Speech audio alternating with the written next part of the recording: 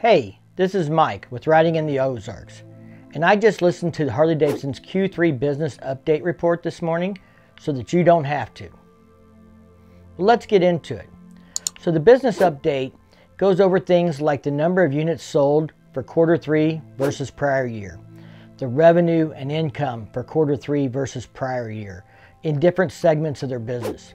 It also gets into their business plan which includes the Rewire Initiative, which is what their plan is for the company through the remainder of 2020. It also gets into the Hardwire Plan, which is their five year strategic plan for the company for the years 2021 through 2025. I'm going to touch on some of the stuff that I think is important from the call. And I really want to get into one thing I took away from the call that I think affects all current Harley Davidson customers and potentially future customers. Doesn't matter if you're planning to buy, sell, or just have one currently. I think it's important when you look at this slide for the five-year strategic plan to remember it's designed for investors and stakeholders, not for customers. The wording right here in the beginning of the slide says, Harley Davidson is the most desirable motorcycle brand in the world, end quote. Now, they're focused on desirability. They're not talking about making the best machine for the value to make that more desirable. Nothing's that specific in this strategic plan. Um, but they're talking about parts and accessories, general merchandise, how they're going to streamline operations and the workplace environment. It's a, a much bigger, big picture type plan. Let's move on and get into the rewire. That's the current initiative for the rest of 2020. So this slide here talks about the key elements of the rewire. The first thing listed is about the new operational model.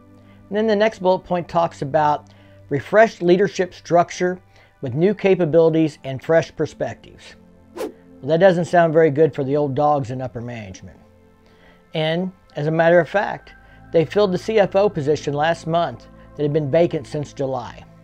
They brought in Gina Goetter who was a top finance executive at Tyson Foods.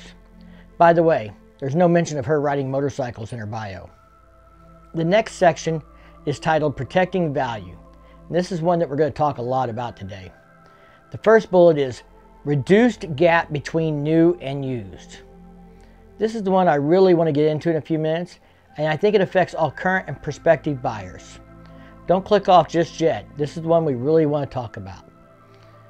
The second bullet is Q3 dealer inventory down 30 plus percent. As you can see in this next slide, worldwide sales is down 18% year to date from the prior year. Now, if we look at this other slide right here, we'll see that total shipments is down 28.3% versus prior year. Well, if they shipped less motorcycles than what they sold, remember working in negatives here, then that means they sold existing inventory, thus further reducing the inventory on the floor. Now, hopefully everybody's following along because that's going to be important as we talk about some of this strategy that they're under. The third bullet, under protecting value, is nearly eliminated promotions and discounts. So you know what this all means, right?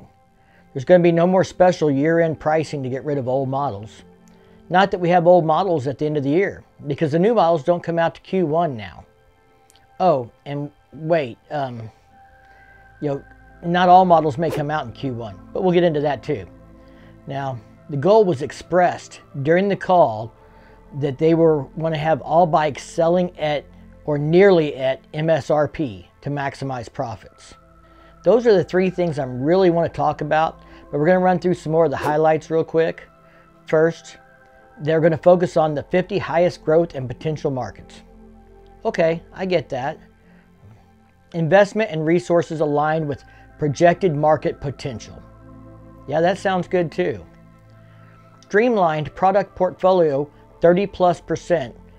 Well, we all know that they're reducing models and they've already canceled the Bronx. That's just another example of this happening. Deliver the first adventure touring motorcycle, Pan America, in 2021. Well, I'm glad to see that happen personally.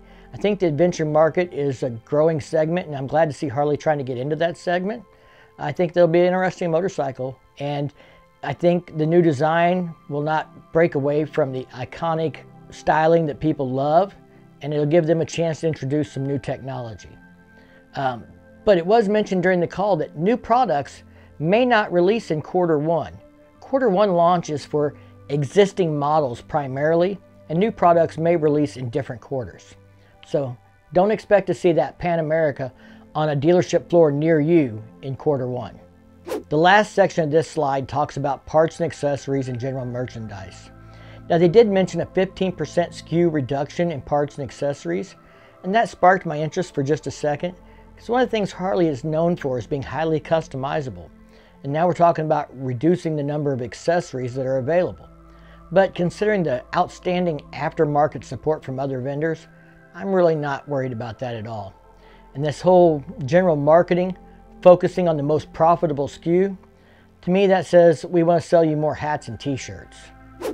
Now let's talk about protecting value and what these three bullet points really mean to everyday customers. First, they say reduce gap between new and used.